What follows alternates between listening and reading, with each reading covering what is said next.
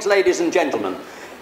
As I said, it's a real pleasure to, to welcome you all here. My name is Emeritus Professor Philip Stott, and I've been interested in this topic for a very long time indeed. And I've taken a long interest in this, and it's a real pleasure for me here now to come to chair this session on what is perhaps one of the most hubristic acts that has been passed by any parliament in the, the world, the Climate Change Act. And what we're going to do today, we're going to go from the science with Dr. Plimer, Professor Plimer, to the structures that have been dealing with the IBCC, the IPCC with Donna, Donna Lamprofos, who are, many of you will know and has been a marvellous contributor to this. We will then go on to the economics of the issue with Ruth, and we will end with the politics of energy with Matt Ridley, one of our finest science writers in the world today. But the context is very simple, and just to start us off, China's emissions, as you now know, under the 2010 measures, represent 24.6% of world emissions, way above, for example, the US now at 16%. The 2010 figures on 2009 in terms of emissions for the UK are up 3.8%. World, they're up between 5 to 5.9%. But it's actually more than that because what is interesting is the intensity is also up, which is really in some ways surprising, but it's up 5.8% with a world growth. Some places still have growth of 5.1%, so the intensity is up. So we're in a background here where the world has changed, the plate tectonics of the politics have moved to the Pacific Rim, to the countries of the BRIC, to the countries of the basic world. The whole agenda in this sense has changed. Europe, of course, as we know, is now in the most appalling state economically, with all sorts of consequences in terms of many, many other policies. And in terms of this world context, not just the science, which has all sorts of problems attached to it as well, but the Climate Change Act increasingly looks like an act of enormous folly for, Europe, for, for British politics and for British economics. In a sense, it leaves us increasingly in an isolated position, and the idea that we actually have an influence morally on other countries in this respect is declining all the time. We saw that at Copenhagen, we've seen it at Cancun, and we'll see it even more at Durban. This is the context, and I'm afraid, looking at purely as an academic, as we look forward, it is very unlikely that the British Parliament will be able to hold such an act anyway for much longer. It simply will not be tenable in economic and political terms. So what we're going to look at today is what is the state effectively of the science, the state of the United Nations approach to this with Donna, the state of the economics with Ruth, and then, very crucially, taking us to the politics and the energy issue which is going to be raised by Matt. So may I first of all call on Ian, very kindly, Dr. Dr. Professor Plimer from Australia, who many of you will know, author, of course, of very, very important books, including his new one, How to Get Expelled from School, which I have here, absolutely certain, a guide to climate change for pupils, parents and punters, and who in Australia and down under has been one of the leading protagonists trying to bring a true geological perspective to the whole idea of climate change. Professor Plimer. Well, thank you for coming. I'm a geologist. And the one thing that we miss out on in looking at climate change is the past. Climates have always changed. Climate changes in the past have been greater and faster than anything we experience in our lifetime. And sea levels have always changed not by the modest couple of millimetres that people are having conniptions about, but we've had in the past sea level changes of only 1500 metres. That's a sea level change. And if we look back in the history of time, the atmosphere once had a very large amount of carbon dioxide in it. It's now got less than 0.04%. Where did that carbon dioxide go to? It went into chalk limestone, shells and life. And we've been sequestering carbon dioxide out of the atmosphere for only 2,000 to 500 million years. This planet has been degassing carbon dioxide since it first formed on that Thursday, 4,567 million years ago. Carbon dioxide is a natural gas. It has dominated the atmosphere for an extraordinarily long period of time. And we now are at a dangerously low level. If we halved the amount of carbon dioxide in the atmosphere, we would have no terrestrial plants. Carbon dioxide is plant food. It is not a pollutant. To use words like pollution with carbon dioxide is misleading and deceptive. But the past gives us a wonderful story. In the past, we've had six major ice ages. We are currently in an ice age. It started 34 million years ago when South America had the good sense to pull away from Antarctica and there was a circumpolar current set up which isolated Antarctica and we started to get the Antarctic ice sheet. We've had periods of glaciation and interglacials. We are currently in interglacial. And during that 34 million years, we have refrigerated the Earth. But for less than 20% of time, we have had ice on planet Earth. The rest of the time, it's been warmer and wetter. And there's been more carbon dioxide in the atmosphere. And what did life do? It thrived. Six of the six great ice ages were initiated when the carbon dioxide content of the atmosphere was higher than now. In fact, up to a thousand times higher. So we have from the geological evidence absolutely no evidence that carbon dioxide has driven climate for some odd reason, the major driver of climate is that great ball of heat in the sky, which we call the sun. That's, that's, you heard it here first. It's really quite unusual. And we change our distance from the sun. Every 100,000 years, our orbit changes from elliptical to circular. And we have a cycle of 90,000 years of cold and 10,000 years of warm. We're in one of those warm cycles now. And every 43,000 years, the axis of the Earth changes a little bit. And every 21,000 years, we get a bit of a wobble. Each of those orbital events put us further from the Sun. Every now and then, we get bombarded by cosmic rays coming from a supernova eruption somewhere out there. And if the Sun's magnetic field cannot drive these away, we start to form low-level clouds. We've got extremely good evidence that this process has been going on for a very long period of time. Every now and then continents start to move, and they move at very rapid rates. They move about this much every year. And at one time, a continent can be over a pole, at another time, it can be at the equator. Those moving continents change the major heat balance on the Earth, and that's the ocean currents. The oceans carry far more heat than the atmosphere every now and then because of major geological processes. We'll get a great bulge on the ocean floor of new volcanic rock. That changes ocean currents. Every year we have 10,000 cubic kilometres of seawater that goes through new volcanic rocks in the ocean floor. That exchanges heat. The reaction between seawater and the rocks stops the oceans becoming acid. When we run out of rocks, the oceans will become acid, but don't wait up. It will be a long time. We see 1,500 terrestrial volcanoes on planet Earth. We only measure 20 of them, and very few of those uh, measurements are really accurate, but they tell us that a little bit of carbon dioxide leaks out of those volcanoes. But what we don't hear is that there are at least 3.47 million volcanoes on the sea floor which leak out huge amounts of carbon dioxide. We have got pools of liquid carbon dioxide on the sea floor. So early Earth's carbon dioxide, where did it go? It went into rocks. Where did it come from? It came from rocks. What did it do to the planet? We did not fry and die. We didn't have runaway greenhouse.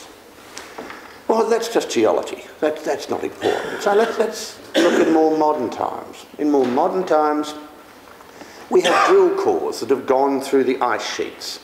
Snow, when it falls, captures some air. That air is then trapped in the ice. We can later extract it from drill core and measure the amount of carbon dioxide in the air.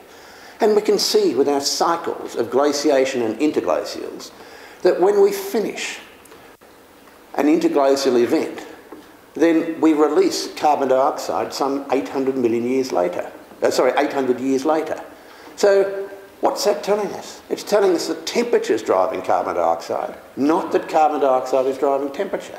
Oh yes, but that's only hundreds of thousands of years ago, forget that. Well, let's go to more modern times. We've been measuring temperatures accurately since 1850, and the accuracy is plus or minus one degree Celsius for those ancient measurements. We are being told that this 0.7 degree Celsius rise is going, to, is going to create a disaster. I've only got to move over to here, and I've had a 0.7 degree Celsius temperature rise. Where do you people go for your summer holidays? You go to a warmer climate. We are creatures from the Rift Valley. we like warm climates. If someone from Helsinki moves to Singapore, there's an average temperature rise of 22 degrees Celsius. Singaporeans don't drop dead in the streets from the temperature. So we are creatures of warm climates, and we've been measuring temperature, and we have seen a slight warming from 1860 to 1890, and then a slight cooling until 1910, then a warming until 1940, so much so that the Northwest Passage was open, then a cooling until 1977, and then a warming until the end of the century, and now we're in a period of cooling. So we've had these cycles of warming and cooling. Strange that these cycles are actually related to changes in the heat balance in the oceans.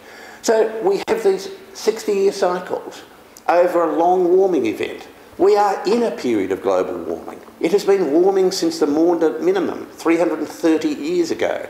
These were the times when you had the ice fairs on the Thames. These are the times when the Dutch masters painted hoarfrosts and bitterly cold conditions. That was the time when the sun was a bit inactive and we had no sunspot activity. So we're in a long period of warming, and one of the questions that I ask in this book is which part of the last 330 years of warming is due to human activity, and which part is natural?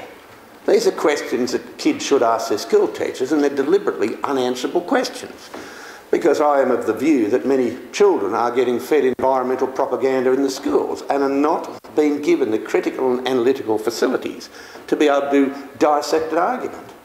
So we're in a period of warming. What's the worry? It's quite normal. And let's just look at history. The one thing that the climate industry, which it is, ignores is history. In Roman times, it was warm. It was considerably warmer than now. And we know that. They kept good records. They grew olives up the Rhine River as far as Bonn. They had wine grapes in Yorkshire. We know from their clothing that it was warm. Possibly they were going through an orgy, but I think it more likely it was warm. And that warming suddenly stopped in 535 AD. And we entered the Dark Ages. And in 535 AD, we had Krakatoa fill the atmosphere with aerosols. And it wasn't a big volcano. Only 30 cubic kilometres of aerosols go into the atmosphere. We've had bigger ones in Yellowstone. We've had even bigger ones in New Zealand, where 10,000 cubic kilometres of aerosols have gone into the atmosphere. And we pray for another one, because that's the only way we'll ever beat them at rugby. Just wipe them out. We had two volcanoes, one in Rabaul and one in Krakatoa in Indonesia in 535, 536. We went into the Dark Ages. It was cool. What happened? Crops failed. We starved. We had civil unrest. We had cannibalism. We broke out of that into the medieval warming. First to feel it was the Vikings. The seas became calmer. They could go further fishing. They actually went to Newfoundland, which they called Vinland. In Greenland, grapes and barley were growing.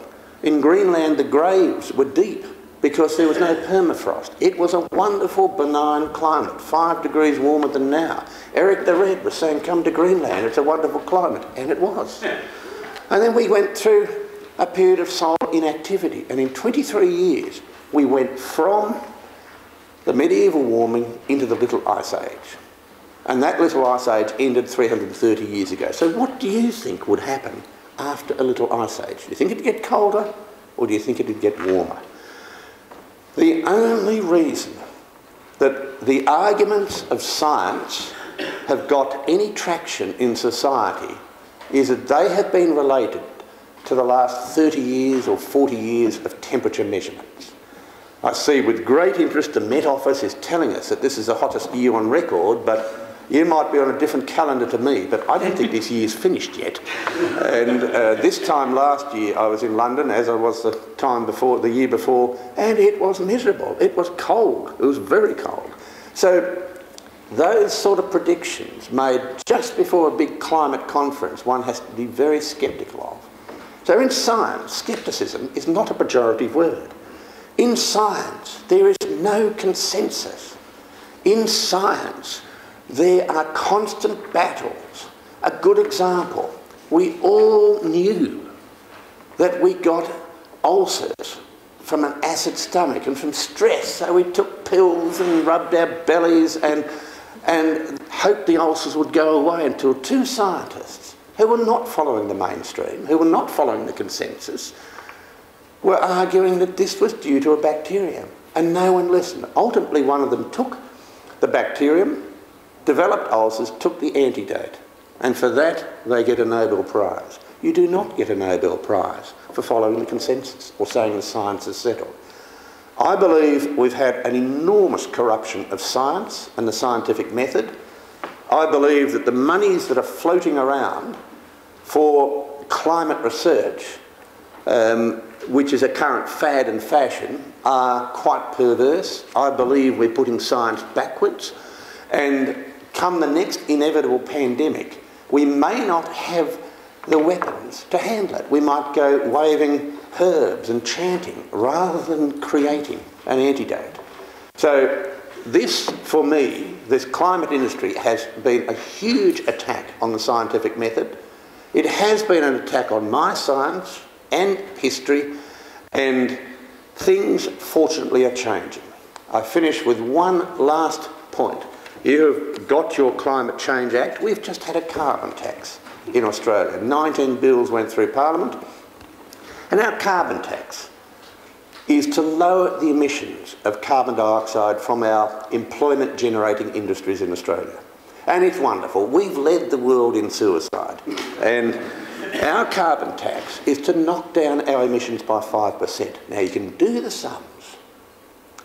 And the sums are very simple. The IPCC says that 3% of annual emissions are from humans. Why is it that that 3% drive climate change is beyond me and not the other 97%, but that's another matter. Australia puts out 1.5% of the world's CO2 emissions. You can do the calculations, and by Australia knocking back their emissions by 5%, we will, by the year 2050, have lowered global temperatures by 0.00007 degrees Celsius. So I do hope you enjoy our sacrifice in giving you a warmer climate here in England. Thank you. Excellent.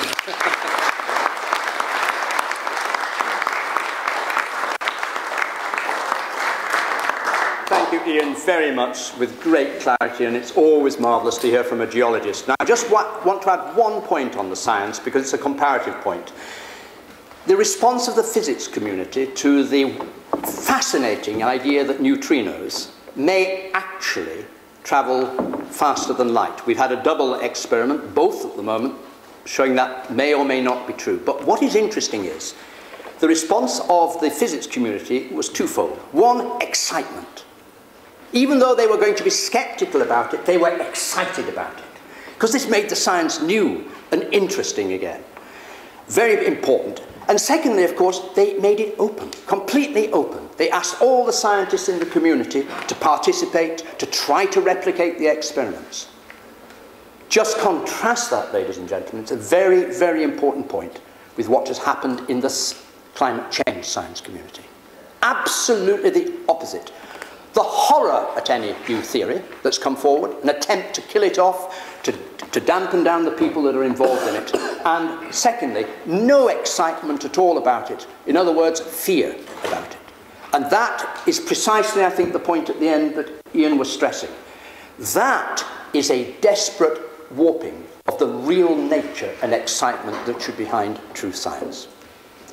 Now, what we do in a very timely moment, I think, is with Donna, and many of you will have uh, read Donna's blogs and know of her marvellous work, uh, Donna Laframboise, it's marvellous to have her here because she's from Canada, but luckily she was in Germany, I think, Donna, so was able to make the journey over to us here.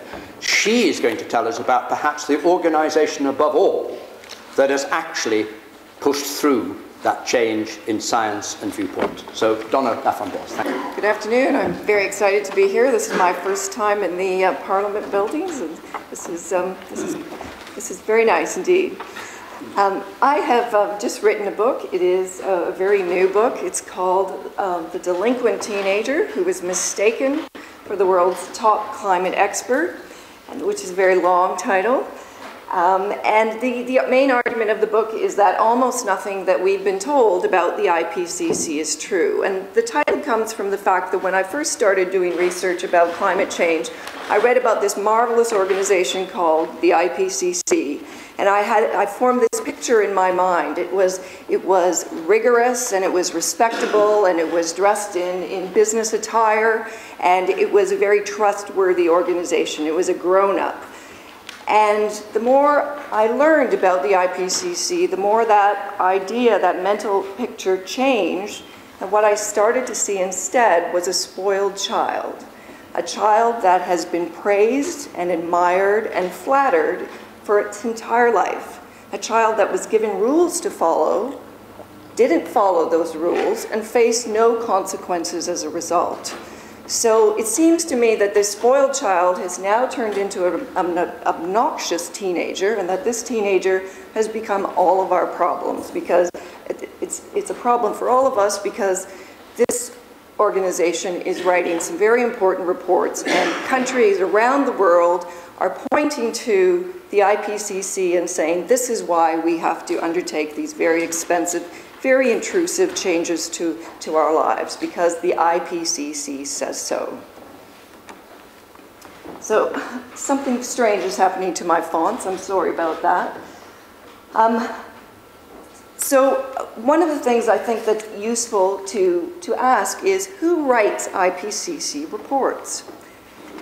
And there's actually a list of five quotes on this page, but only one of them is, is, is, um, is I'm showing here. So what the list, the list of this slide should say, uh, should have two quotes from, um, from science journalists. It should have a quote from the science press, the energy sector press, and there's a quote from the um, head of UNEP, United Nations Environmental Program. And all of these people are essentially using slightly different words, but they are telling us that, that it's the best scientists, it's the top scientists, it is experts in their field who are, it's the world's finest scientific minds. That is who is writing IPCC reports. And indeed, the green NGOs are also um, singing from the same, tune, uh, same hymn book. So it's leading scientists, leading climate scientists, the world's brightest scientists. That's who's working on IPCC reports. That's who we're told is. Where did these ideas come from? Well, we can trace them right back to the IPCC's chairman. So the former chairman, Robert Watson, has told us this is the world's best experts. The current chairman, Dr. Rajendra Pachauri, has also said this is the world's best specialist. So it would appear that we have a consensus. And just to give you an idea of the flavor, here is a quote from Chairman Pachauri. These are people who have been chosen on the basis of their track record, on their record of publications, on the research that they have done. They are people who are at the top of their profession. So everyone agrees that's who writes IPCC reports. Well, I do a lot of investigative work as a journalist, and rather than just accepting what people say, I actually go to the trouble of looking beneath the surface to see if these claims, if there's any actually any evidence for these claims. And what I found was quite startling. Um, and I'm not suggesting that there have not been some brilliant scientists who have been associated with the IPCC. But I am suggesting is that there are a lot of other people who've been helping to write these reports who are not remotely close to being the world's top experts. So, who really writes IPCC reports? One group is 20-something graduate students. Now, these people are not helping out. These are people who have been given lead author roles on IPCC reports. So we have Richard Klein, who is currently a geography professor.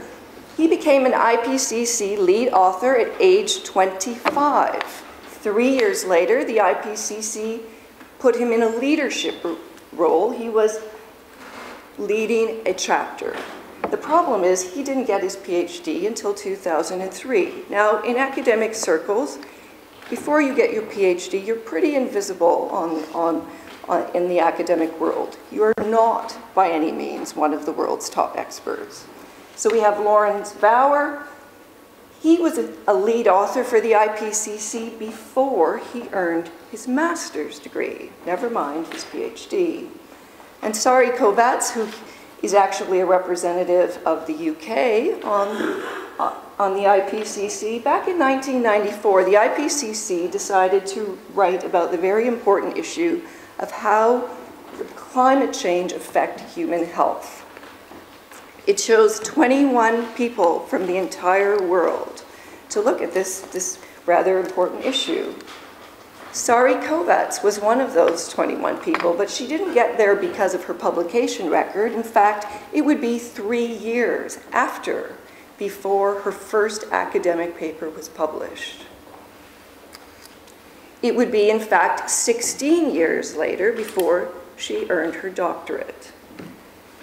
But she has been a long-time member of the IPCC and, in fact, is currently working on the upcoming IPCC report. So who else is writing IPCC reports? People who have been appointed because they represent the right country or they belong to the right gender. Now this is pretty amazing because, you know, when you're told it's the world's top experts, that's what you expect.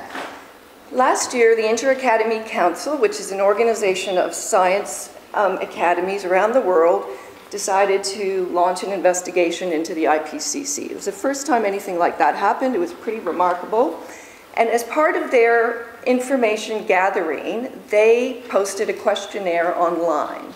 And they invited people who had participated in the IPCC to answer questions such as, what is your opinion about how the IPCC chooses its lead authors? Those questions were bundled together into a 678 page PDF, which is available online. You can download it. The names of the people were removed, however, so we don't know who is speaking. And if you download that document, you find that as early as page 16, these IPCC insiders are saying that some lead authors are clearly not qualified. Fast forward 100 pages or so, you have someone saying that half of the lead authors in their chapter were not competent, that instead they were politically correct appointments from developing countries. And then fast forward a few more hundred pages and you have someone else saying all IPCC personnel decisions are political before being scientific. Now, I think that's rather alarming, and these are IPCC insiders themselves. Who else?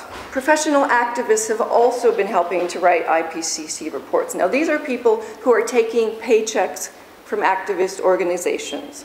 We have Richard Moss, who has been involved with the IPCC for 20 years. During part of that time, he was a vice president of the World Wildlife Fund. Bill Hare is considered a legend in Greenpeace. He has been a spokesperson since the early 1990s for Greenpeace. And when the last report came out in 2007, he was one of only 40 people who helped to write the synthesis report, which is the summary of summaries, because IPCC reports are thousands of pages, you need some executive summaries. He's in the inner circle writing that report. Now, there are more students, there are more activists, but we, we don't have a lot of time today, so I'm, you know, in my book, these are not the only ones by any means. So here's two more. Michael Oppenheimer, he worked for 20 years for the Environmental Defense Fund. It's a very wealthy, very influential activist group in um, in the US. He is currently leading an IPCC chapter for the upcoming report. And Jennifer Morgan, she looks like a very pleasant person. I'm sure she'd be really fun to have coffee or drink with. But she is not one of the world's finest scientific minds. If you look at Jennifer's CV, she has spent her entire career working for one activist group after another activist group. And for a while, in fact, she was the World Wildlife Fund's chief spokesperson on climate change. Nevertheless, the IPCC has appointed her to work on its current report. Now, there's another problem with activism and, and the IPCC, and that's that in 2004, something very curious started to happen, and that's that the World Wildlife Fund began very deliberately to recruit IPCC personnel. And by 2008, according to documents available on their website, it had persuaded 130 people that it described as leading climate scientists, mostly but not exclusively from the IPCC, to join its own panel. So this was work on the last IPCC report, AR4, was just beginning around in 2004. So at the very moment that these scientists, these leading climate scientists, were supposed to be making a very neutral and objective and impartial examination of the evidence around climate change, they decided to get into bed with the WWF. And what effect did that have? Well, in two thirds of the chapters for the last major IPCC report, there was at least one and as many as nine WWF affiliated scientists working on that. In one third of the chapters, one of the leaders was a WWF affiliated scientist. There was a chapter that concluded that 20 to 30% of the world's species are threatened with extinction. Both leaders of that chapter were affiliated with the WWF, plus six other people. So the IPCC stacked the species extinction chapter with eight WWF people. Are we really surprised that they, can, that they then concluded that species extinction is a big concern with respect to climate change? So a few weeks after my book was released, the WWF issued a press release in which they said, oh, no, no, the, the IPCC hasn't been infiltrated by us. There's a little bit of overlap. There's some overlap. Well, in my view, when two-thirds of your chapters are, include WWF people, that's, that's an invasion. That's not a bit of overlap. That's a really big concern. So who really writes IPCC reports? Students, unqualified scientists, professional activists, and scientists who are so unsophisticated and so naive that they don't appreciate that you should not be getting into bed with activist groups at the very moment that you are, have been entrusted by the entire world to take very close and careful um, look at the evidence around these issues. So what does this mean? It means that a very simple question, who writes IPCC reports? What we think the answer is, what everyone thinks the answer is, is actually, it's, it's wrong. That it's not, and now I'm, I am told as a journalist that there is a consensus about what the science is around climate change. And I, I'm not in a position to know whether that, that consensus is valid or not. But I do know that the consensus around the very simple question of who writes IPCC reports is, is wrong. Okay, now I'm rushing here because my presentation is a bit longer than the time allotted. Um, there are other claims about the IPCC that turn out not to be true. We're told that it's utterly transparent. No, I'm sorry, it's not. And there are a number of people who've looked at that question independently, and we've all come to the same conclusion. We're told that there are policies and procedures, and that these are followed rigorously.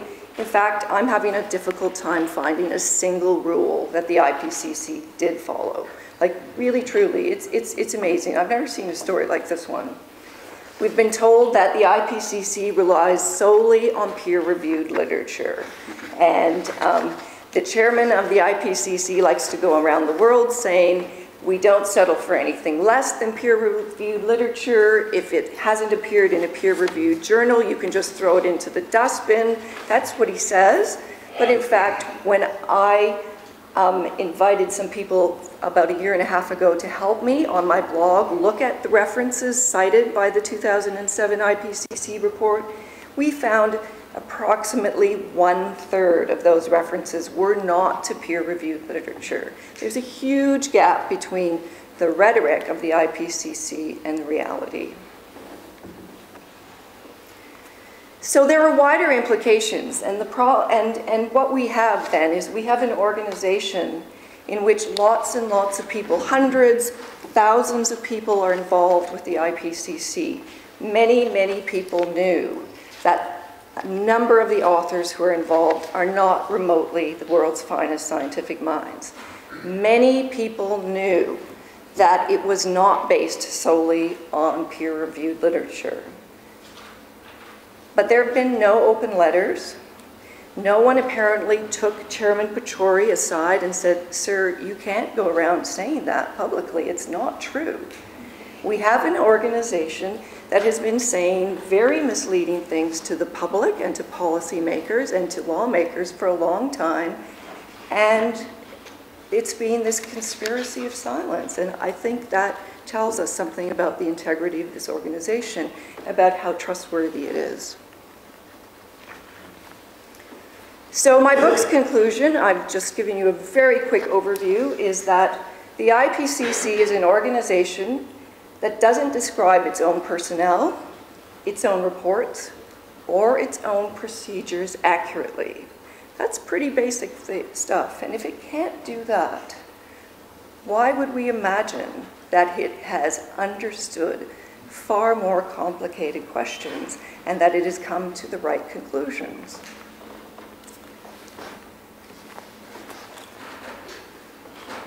So um, my message as a journalist to lawmakers is be very careful when you hear that the IPCC says that um, it, has, it has reached this conclusion or that we should do, um, proceed down this path because this is not a trustworthy organization.